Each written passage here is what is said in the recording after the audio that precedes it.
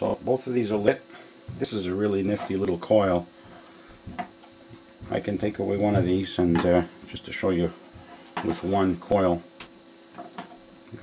Just putting it over here like that and getting some good lighting here. I checked the I checked these LEDs. It's about 2.5 volts, but I'm not really concerned with the voltage right now. So this is the way that goes. Uh, let's take another one here. This is the GK Special, based on the winding that he did recently with this metal covered coil. This here is basically a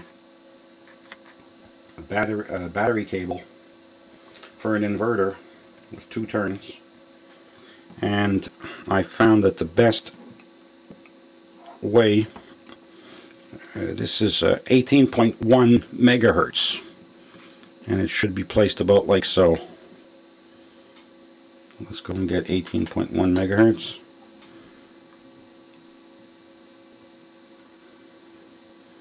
there it is 18.1 megahertz and look at that. Pretty incredible. Now, okay, let's stop here a second. I just want to explain to you something, what this really means for me. Uh, see, this coil here, it's, it's, it's just two turns. Now, I can have 10 of these placed at different angles around this one toroid and have 10 of these LEDs lighting up okay and basically I'm running that toroid right now at 16.5 uh, volts and figure 0.2 amps is, is what, what it gave me when I checked it but again I'm not really I don't really care about the voltage or the amperage well I wanted to see is I want to see effect so this one here is working extremely well very good coupling just with two points touching here on one side of this thing which is pretty incredible. Uh, okay, let's put this one aside. Uh, let's take this one here. This is a little nifty one. Okay, let's put this like this. Let's put that here. Put that about right there. This one here is a 10.8. So we can go and drop down. There you go. 10.8 look at this now this one here is six strands of Litz wire bundled together going around this circle here twice and then coming out then one end is going into the outer coil here and then coming to the LED. So I have one end, it's the Litz, one end is the outer coil on that uh, on that LED. You can see right here and right here. So, uh, that's about it for that one. Pretty nifty, and this this thing here really works in a whole bunch of different different angles. Also, this one here is an extremely nice one. Nice nice uh, effect that I get on it. Okay, let's show you this thing here. This thing here just came off of an AC fan. It's just a coil for an AC fan, uh, fan motor that I took off. I took the uh, the uh, the armature off the center and I kept this coil intact. I bypassed this little thing here. I put my LED directly onto the wires. And the way this one works is like so. Just put it through the center. Okay. And let's go and find the frequency for this one. There you go. And voila very nice.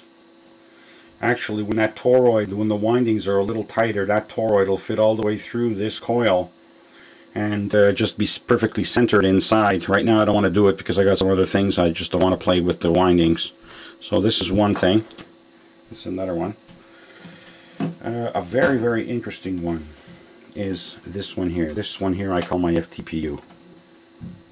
Okay, FTPU 6.3 megahertz. So let's get this to 6.3 megahertz. And I got nothing. But what I found was that when you take one of these wires here, because the way this is, the way that I hook this up, I have two turns on the top, two turns on the bottom, and then I've got an outer control coil going all the way around. It's one coil going all the way around the top one, all the way around the bottom one, and everything is in series. So the horizontals are one after the other, then they go into the top outer coil, uh, control coil, and then the bottom control coil, and then I'm getting one end on here, one end on here. And what I found was when I put this like this, that's when I get it lit up. Let's just get this thing here straight. Okay, let me stop let me stop this video a second and get it a little a little tight. Okay. Okay, I'm back. Uh, yeah, actually I didn't have it at 6.3 megahertz. I had it at 6.3 kilohertz.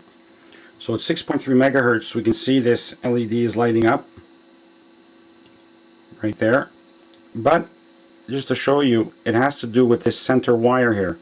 One of the wires of this whole winding is going above the toroid. And because of that, I'm getting light. Otherwise, it's very, very difficult to find the right place. It'll also work if I just put it on the side here.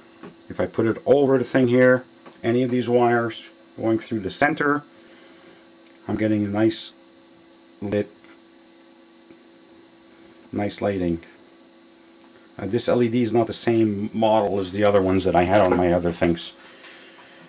Okay let's stop this and we'll get another one set up.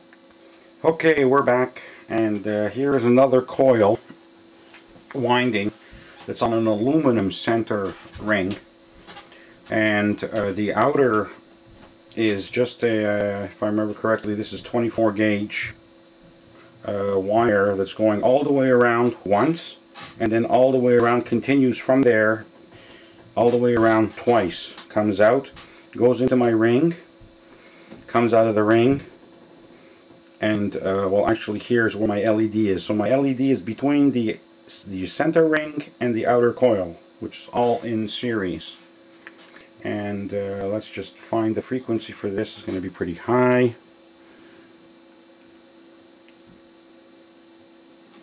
And there you go. It's kind of hard to see here. It's kind of hard to see. Jeez. Sorry if you can't see that much but uh, okay that's lit but the thing I want to show here this is this one here this coil here I call the more of an OTPU uh, which is the uh, open TPU type with the toroid horizontal uh, yeah no vertical which is the same thing as in the OTPU it's right behind the circuit board which is about right here. And uh, this outer winding here can equal the windings that are that are on the OTPU you had the four sections there one two three and four. And what I figure is you probably have two conductors in those wires and it's probably going through twice. Uh, now just remember that all I'm putting in here is like 16.5 volts and like uh, 0.2 amps. And uh, from that distance I'm still getting some coupling on that on that LED okay so we'll stop this and continue with another one. Okay